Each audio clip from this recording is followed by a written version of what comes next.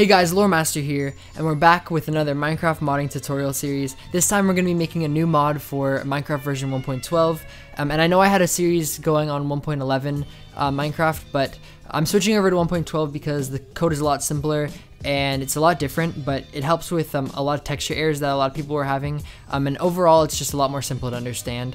Um, but if you're new to this, uh, in this series we'll be making a Minecraft mod. You'll be able to add whatever you want to Minecraft, uh, blocks, recipes, um, items, tools, um, even origin and like new biomes and hopefully dimensions if we get there, but we'll see. Um, and so it's going to be awesome. You don't need any prior Java experience or modding experience or even coding experience. You can just follow along, although it is recommended you know a little bit about Java just so you don't fall behind. But um, in this first episode, we're going to be setting up the workspace, which is where you're going to be doing all your coding and actually like making the mod. And it's a little bit confusing, so I thought I'd walk everyone through it. Alright, so with that said, the first thing you're going to want to install is Java. We're going to be installing Java JRE and Java JDK. Um, both are required. And it's very simple. You'll see up here I have a bunch of different um, websites, but all of these are going to be in the description, so don't even worry about trying to find them yourself. Just go down to the description and find them um, when I tell you to, and it should be really simple. We're going to get Java SE Development Kit first. Um, so just come to this little website, it'll be down in the description again. Um, scroll down to Java SE Development Kit 8U152 um, and accept the license agreement. And you're going to want to click whichever one corresponds to your operating system. In my case, it's Windows 64. So just click this little button right here. It'll come up with a little window, save it to your desktop. I already did that, but um, do that if you haven't. And you'll get a little box right here that says JDK um, 8U152 or whatever. Just double click that. So when this window pops up, just hit next. Um, don't worry about any of this stuff here. Again, hit next and it'll install a little um, thing right here. I'll be right back when that's done.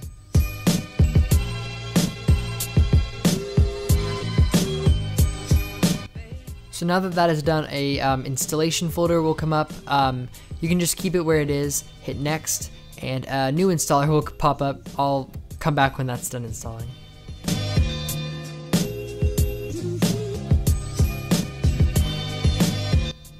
So once that's done, it'll say successfully installed here and you can just hit close. Um, so now JDK is installed. So we don't need this installer anymore. We can just throw it away.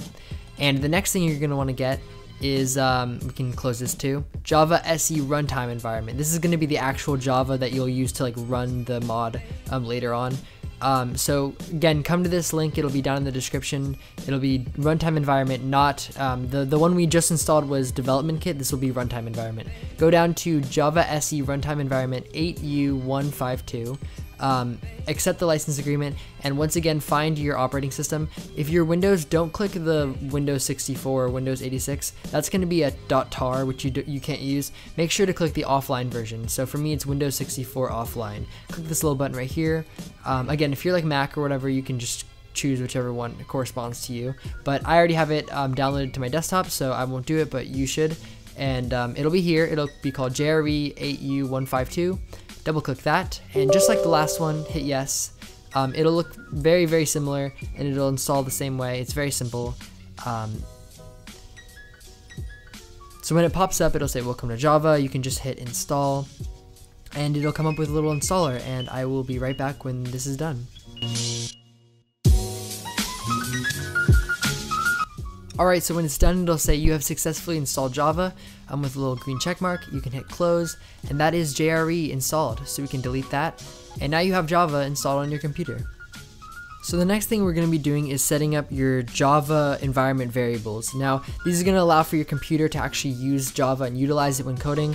Um, this part is a little risky because if you mess up, you could mess up some of your basic computer functions. Um, so please be really careful when following this one step. I would recommend watching this step first, then rewatching it and doing it again. But um, you know, it's it's your computer, so um, hopefully you'll be safe um, when following this. But as long as you follow along, um, you'll be fine. So go down to your search bar down here, and you're gonna want to click um, Advanced and it'll say view advanced system settings. If you click that, you'll get this little box up here. Make sure you're on the advanced tab and click environment variables. A new box will come up and this is going to have all your environment variables in it.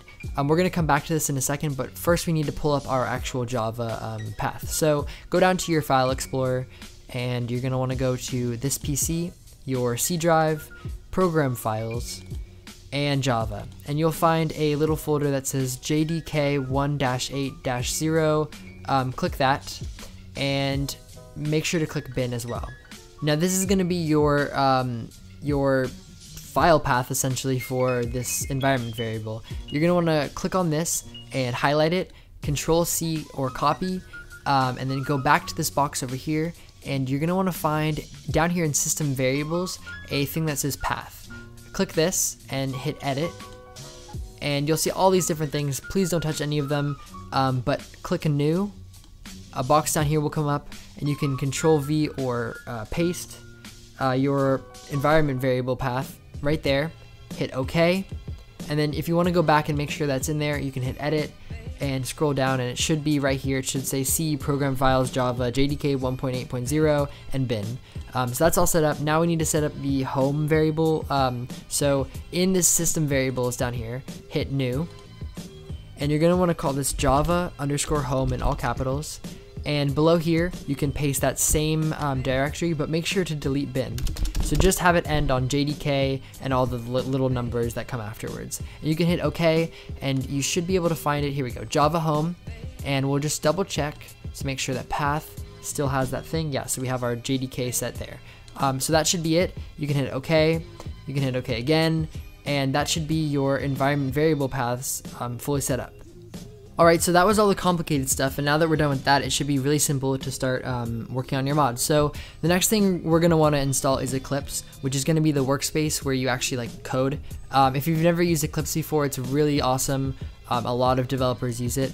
This link will again be in the description, so you can click the Eclipse link, and it'll bring you to this download page. You're just wanna gonna want to click download um, it'll give you this little thing. You don't have to donate, that's all voluntary. It is a free program, um, and it should give you this thing, save to desktop. Again, I already have it um, downloaded onto my desktop, but it should give you this little box right here, and you can double click that, an application, um, and it should pop up. Might take a little bit.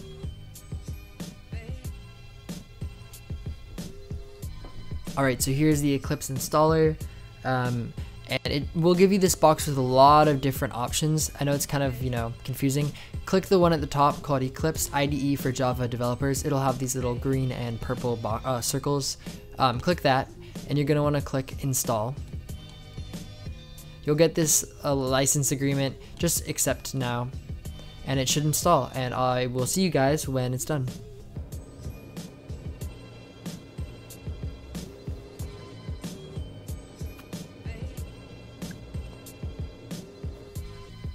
Alright, so once that's done installing, you'll get this little launch button. Um, don't worry about it, just click X. It'll say, oh no, do you want to launch it? Just hit no. Um, and you can delete this installer, we don't need it anymore. And here is your little um, application. It's called Eclipse Java Oxygen or whatever version of Eclipse you downloaded will work.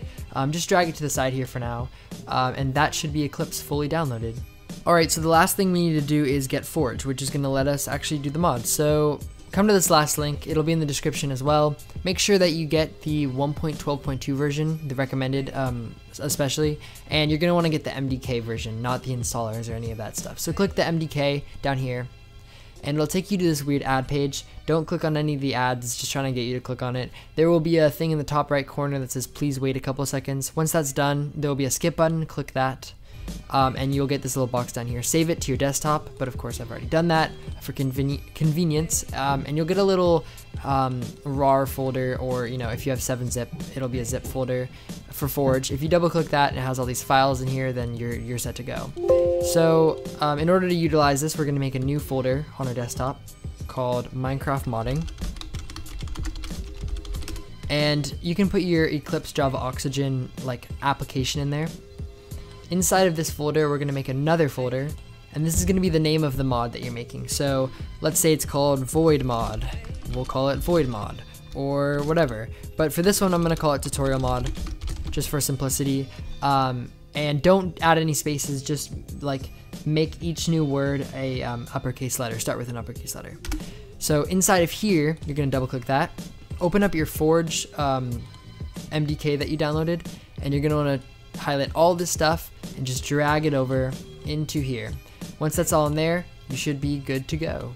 So we actually don't need the Forge uh, folder anymore, so we can just delete that off of our desktop. Um, but what you're going to want to focus on is your mod folder right here. We're going to actually unpack this and allow for your computer to use it and, um, you know, allow for Eclipse to use it. So you're going to want to come down here to your search bar and type in CMD. This will bring up a command prompt. Click that. It'll be a black box and you're going to want to click up here on your path, your file path, just highlight up to desktop. You don't need to worry about the users or your username or C or any of that stuff. Just go up to desktop. Go back to your black box and you can type CD space and then paste that little path that you put in there. Press enter and now you'll see that you're in your file path. Um, now inside of here you're going to want to type gradlew setup decomp workspace. Now, when you hit enter, it's going to come up with all this stuff. Don't worry about it, it's installing and setting up your workspace for Eclipse to use and which you'll be using to mod later on. So I'm going to let this run and I'll come right back when it's all done.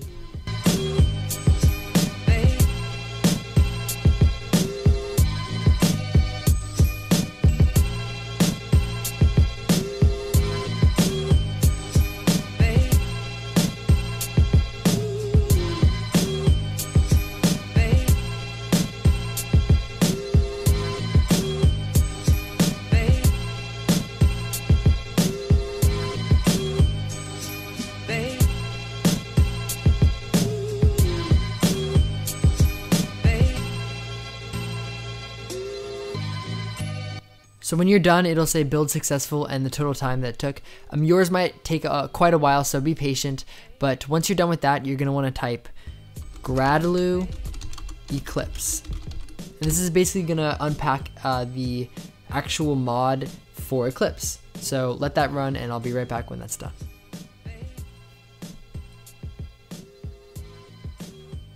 Alright, so that will take a lot less time, but it should also say build successful and if none of these work, um, that means you either have an issue with your Java and the path variables or the actual like Forge itself. Um, so, but if you have any issues, be sure to leave them in the comments and I'll try to get to you as quick as possible. But with that done, you can close out of this and you should have a bunch of new files in here. Um, but what you want to go back to is your Minecraft modding folder um, with Eclipse Java Oxygen. Double click that and this is going to be what you're going to be using to code. So when this pops up, it'll say, you know, choose a workspace. You're going to want to hit browse and go to, you're going to want to click your mod essentially. So desktop, um, Minecraft modding, tutorial mod, and click the Eclipse folder. Once that's done, it should look very similar to this, um, and then you want to hit launch. And this will launch Eclipse. So inside of Eclipse, you'll have this thing that says MDK example. If you double click that, it'll turn into like a little project you can open it with this little uh, clicker right here and it'll have a bunch of folder, folders and files and all sorts of stuff inside of it. Don't worry about that. Next episode we'll actually be getting into what to do with this and how to start your mod. For now we're just setting up the workspace um, and that's going to be about it. So um, hopefully that all worked for you. If you have any issues you can always leave them in the comments. Um, but yeah, thank you guys so much. Uh, this is going to be an awesome series. We'll hopefully make some really cool stuff with this mod and yeah, next episode we'll be setting up some of the basics, um, some new um, code inside of the source main Java folder, but you don't need to worry about that for right now. So yeah, thanks everybody, and I will see you guys next time.